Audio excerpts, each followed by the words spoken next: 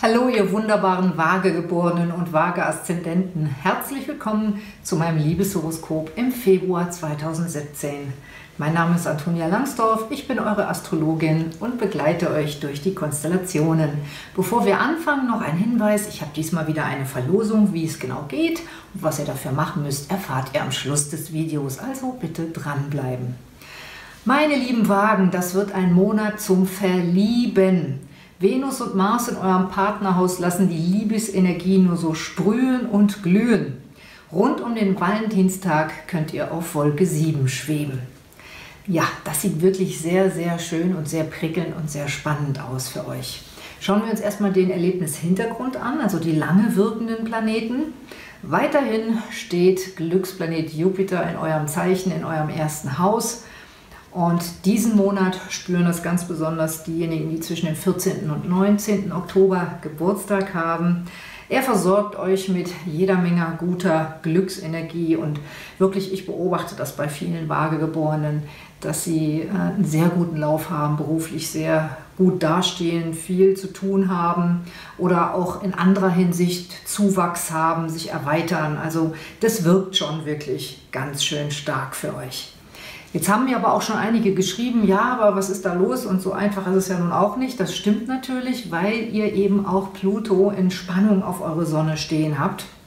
Der steht für die Wagen hier im Steinbock im vierten Haus und wirft eben einen Spannungsaspekt auf die Waagesonne.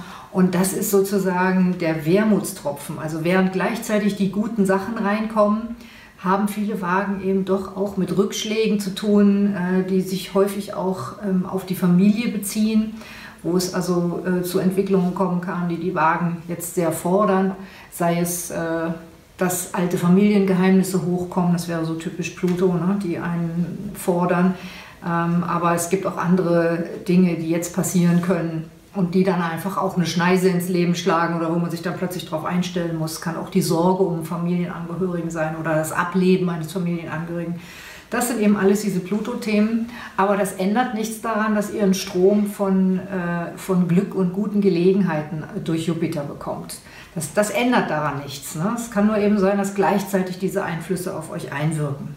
Und ähm, den Einfluss von Pluto spüren diesen Monat ganz besonders diejenigen, die zwischen dem 10. und dem 14. Oktober Geburtstag haben.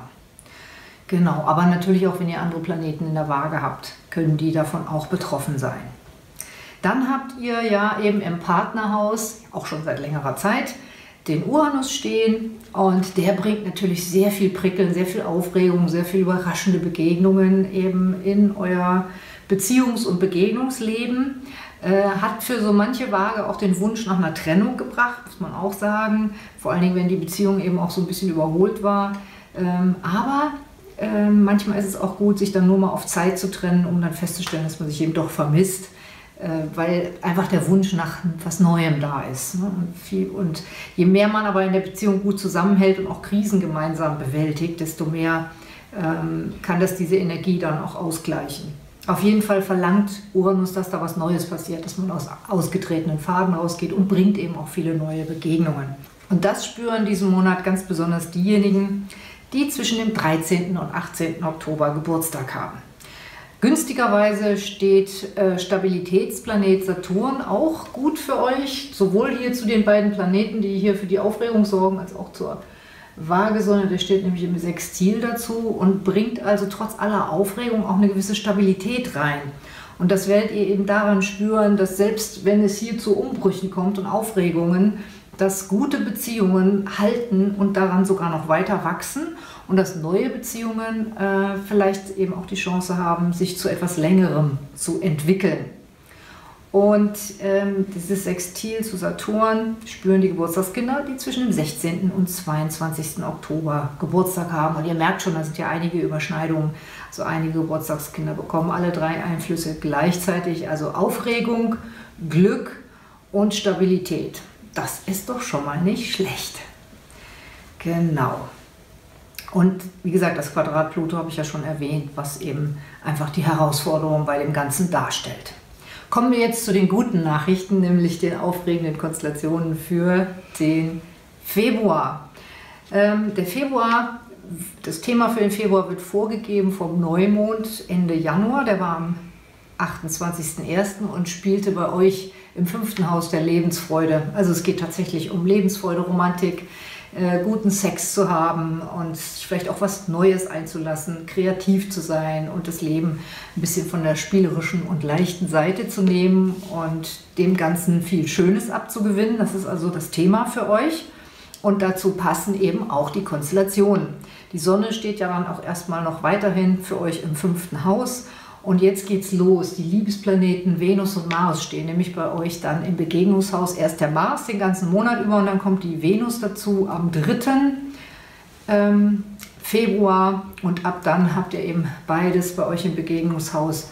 Und das bedeutet einfach auch ganz konkret, sowohl der knackige junge Liebhaber als auch die knackige junge Geliebte, also sowohl für vage Männer als auch für vage Frauen, sehr großes Potenzial, jemand Tolles kennenzulernen bisschen Gefahr eben für diejenigen, die schon fest liiert sind, weil die natürlich auch neue tolle Leute kennenlernen und weil der Uranus dabei steht, vielleicht auch so einen Druck verspüren, so einen Drang, äh, auch nochmal was Neues auszuprobieren.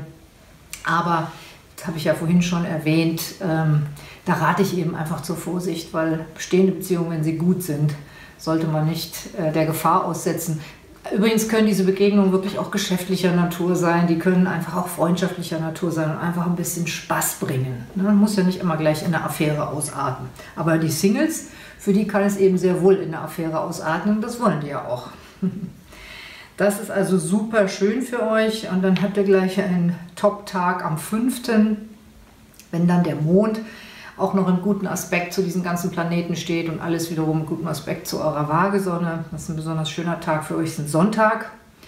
Dann ist wichtig zu wissen, dass ab dem 6. und für den Rest des Monats äh, Jupiter rückläufig wird bei euch im ersten Haus. Das heißt, da ändert sich die Energie. Es kann also sein, dass in diesem ganzen Vorwärtsschwung, den ihr habt, dass das scheinbar zum Stillstand kommt oder dass es sich ändert, dass die Bewegungsrichtung sich ändert.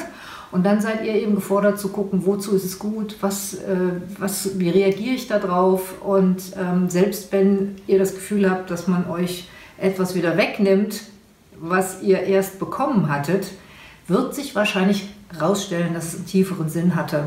Und am Ende bekommt man etwas noch Besseres. So ist das mit Jupiter. Ne? Erstmal geht es wieder zurück und dann sieht man aber ein, dass es gut so war, wie es dann war. Und weil es aber bei euch im ersten Haus äh, spielt, in eurem Zeichen werdet ihr es vielleicht besonders deutlich spüren einfach. Ne? Werdet ihr es einfach merken. Dass sie, es ist wie, als wenn der Wind wechseln würde. Der weht auf einmal aus einer anderen Richtung, aber keine Panik. Im Endeffekt wird es ein Happy End geben. Genau, dann geht der Merkur auch noch bei euch ins fünfte Haus ab dem siebten. Auch sehr schön. Also auch, das ist dann auch ein kreatives Denken, verspieltes Denken und äh, bringt euch also sicherlich auch in jeder Hinsicht nach vorne, weil man einfach immer gut ist, auch beruflich gut ist, wenn man kreativ denkt. Genau, so, dann ein Top-Tag für euch ist der 10. Wenn der Mond in den Löwen geht, steht er auch wieder sehr gut zur Waagesonne und ihr habt allgemein gute Aspekte auf eure Sonne und ist auch gut für Freundschaften. Und dann kommt ja der Vollmond, der steht für euch auch sehr interessant. Zeige ich euch jetzt mal diese Konstellation steht super für euch, denn sie betont zum einen die Beziehungsachse und zum anderen die Freundschafts- und Kreativitätsachse. Also das ist schon eine ganz, ganz tolle Konstellation, die dann eben den Monat auch so ein bisschen dominiert. Geht eben los mit dem Neumond, denkt über eure Lebensfreude nach und dann die wird sich dann voll entfalten um den Vollmond rum. Ihr werdet sehen, was ihr tun könnt. Sei es, dass es über die Partnerschaft kommt, über eine neue Begegnung, über eure eigenen Ideen ähm, über eure eigene Ausstrahlung oder eben über eine, einen Impuls aus eurem Freundeskreis oder äh, falls ihr euch engagiert, vielleicht auch von der Gruppe, in der ihr euch engagiert. Also diese Impulse laufen hier rundherum und selbst wenn innen drin eine große Spannung ist, diese Spannung, die im Vollmond drinsteckt in diesem Monat, die lässt sich gut nach außen vernünftig manifestieren und in eurem Fall eben entweder in einem kreativen Projekt oder in einem Liebesprojekt, in einem Beziehungsprojekt. Das ist doch schon mal nicht schlecht. Ne? Könnt ihr euch darauf freuen. So. Dann habt ihr am Valentinstag selber auch einen Top-Tag. Den zeige ich euch jetzt. Das ist dann der 14. denn da steht der Mond in der Waage. Ich sage ja immer wieder, Mond in der Waage ist für alle gut, deswegen ist es sowieso ein super Valentinstag. Für euch natürlich nochmal schön, weil das einfach nochmal die ganze kosmische Energie in euer Zeichen lenkt und nochmal Begegnung und Beziehung, Liebe und ja, Partnerschaft ganz deutlich betont. Deswegen, also unternehmt da was, verwöhnt entweder euren Schatz oder lasst euch verwöhnen stellt euch sozusagen in den gute, guten kosmischen Glücksstrom, damit ihr davon auch was abkriegt. Auch der Mittwoch ist dann noch ein Top-Tag. Der 15.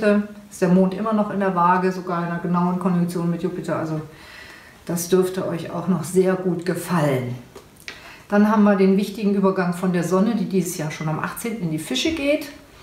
Und die geht dann für euch ins Haus des Jobs. Das heißt, ab dann ähm, es sei denn, ihr feiert jetzt Karneval und nehmt euch dann frei, aber ab dann geht eine starke Energie für die nächsten vier Wochen in euren Arbeitsbereich, Alltagsbereich. Und ähm, das heißt also, ihr solltet wirklich die ersten zwei bis drei Wochen des Februars für die Liebe in allen Facetten ausnutzen. Und dann kommt diese kritische Zeit, äh, wenn der Mars in, hier in die Konjunktion mit dem Uranus läuft und das Ganze in diesem aggressiven Quadrat hier zu Pluto, das könnte für euch auch ein bisschen unangenehm werden, weil es eben direkt hier mit eurem Zeichen auch verbunden ist, mit der Waagesonne hier im Partnerhaus. Sei es also hier, dass der Mars, dass da vielleicht jemand irgendwie dazwischen geht oder dass vielleicht äh, sich rausstellt, dass euer neuer Flirt da doch noch jemand anders hatte. Das, hier ist auch so, ein, so eine Eifersüchtigkeitskonstellation. Äh, ja? Vielleicht meldet sich in eifersüchtiger Ex-Partner eurer neuen Flamme, wenn ihr euch neu verliebt habt. Das ist denkbar. Ähm, es ist leider auch denkbar, dass ihr euch vielleicht aus einer Laune heraus in Streit verwickeln lasst. Aber zum Glück steht ja eben auch die Venus dabei. Also auch für euch gilt, wie auch für die anderen Kardinalzeichen, habe ich bei Herrn Steinberg auch schon gesagt, ähm, Liebe und Versöhnung über den Sex ist da ganz gut möglich. Ne? Wenn ihr spürt, dass also das Adrenalin steigt, dann kann man sich eben einfach überlegen, ob man nicht einfach sagt, du bist so süß, wenn du dich aufregst, anstatt dann wirklich weiter in so einen wütenden Zorn zu gehen. Ja? Wirklich ein bisschen schwierig ist dann der 22. selber, wenn der Mond das dann auch noch aktiviert, weil der Mond ja auch, auch dazu führt, dass man Dinge persönlich nimmt. Aber wenn er wieder rausläuft und dann am 24. auch in den Wassermann läuft, dann fällt das schon viel leichter, eben eventuell sich aufbauende Spannungen über eine gute Runde Sex abzubauen. Aber natürlich bitte auch persönlich. Also nicht, dass man äh, dann den Partner nur benutzt, sondern dass man es dann auch so meint, dass man dann eben wirklich auch auf den anderen eingeht dabei. Das ist dann wichtig. Und dann haben wir ja am 26. diesen Neumond, der als Sonnenfinsternis daherkommt. Und der spielt sich bei euch ab im Haus der Arbeit, ist ein, so ein sogenanntes Quinkux zur Waagesonne, also ein, etwas, ein Aspekt, wo es darum geht, sich anzupassen. Da kann es also schon sein, dass sich Dinge ergeben haben, wo ihr vielleicht merkt, hey, das kriege ich so nicht hin, da muss ich jetzt was ändern, damit es dann wieder passt. Aber darin seid ihr ja eigentlich gut. Ne? Ihr seid ja auch gute Strategen. Also ihr erkennt ja auch, äh, wo es manchmal vielleicht nötig ist, zurückzustecken oder was zu ändern, damit es dann wieder passt. Das müsstet ihr eigentlich gut hinkriegen. Kann auch sein, dass es da um eure Gesundheit geht. Auf jeden Fall setzt dieser Neumond dann für euch für die nächsten vier Wochen das Thema Arbeit, Alltag, Gesundheit und vielleicht eben auch Anpassungsleistungen, dass man mit Jupiter eventuell von irgendeinem hohen Ross auch mal runterkommt und sagt, okay, ich muss ja auch mal auf den Teppich kommen und sehen, dass das hier alles realistisch bleibt. Das kann auch noch mitgefordert sein. Müsst ihr eben mal schauen, wie sich das für euch auswirkt, während es hier eben weiterhin in eurem Partnerschafts- und Begegnungshaus sehr, sehr heiß zugeht und ihr möglicherweise auch zu denen gehört, die wirklich aufpassen müssen, dass, dass ihr nicht Leuten begegnet, die dann wirklich auch jähzornig sind. Ne? Weil Mars ist immerhin in eurem Partnerhaus. Also Mars ist eben auch jemand, der auch schon mal mit der Faust zuschlägt und gerade auch wenn er im Widder steht. Ne? Also haltet euch dann am besten auch fern von Leuten, von denen ihr wisst, dass sie gerne ausflippen, sondern geht dann mehr in die Bereiche und umgebt euch mit den Menschen, wo ihr euch sicher fühlt. Okay, meine lieben Wagen, wie es dann weitergeht, erfahrt ihr natürlich im März-Horoskop. Und jetzt zur Verlosung. Wie funktioniert es diesmal? Ich verlose wieder eine Kurzberatung, 15 Minuten mit mir, gerne auch mit dem Horoskop eines Partners, wenn es euch interessiert.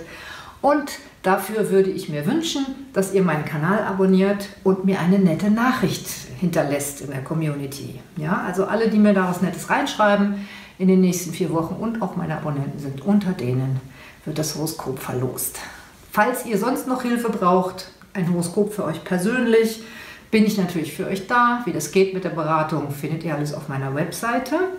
Oder ihr schaut mal bei Antonias Sterne rein. Am 3. Februar habe ich wieder ein Webinar. Vielleicht macht euch das ja auch Freude.